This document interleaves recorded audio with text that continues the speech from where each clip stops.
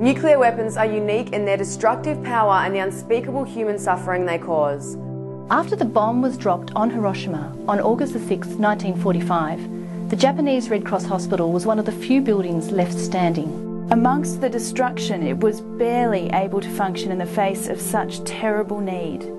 Later, the International Committee of the Red Cross proposed that all countries prohibit the use of atomic weapons. Since then, there have been numerous efforts to ban the use of nuclear weapons, but to this day, not enough has been done. Nuclear weapons are a weapon against humanity. Register your interest and help Australian Red Cross make nuclear weapons the target this November.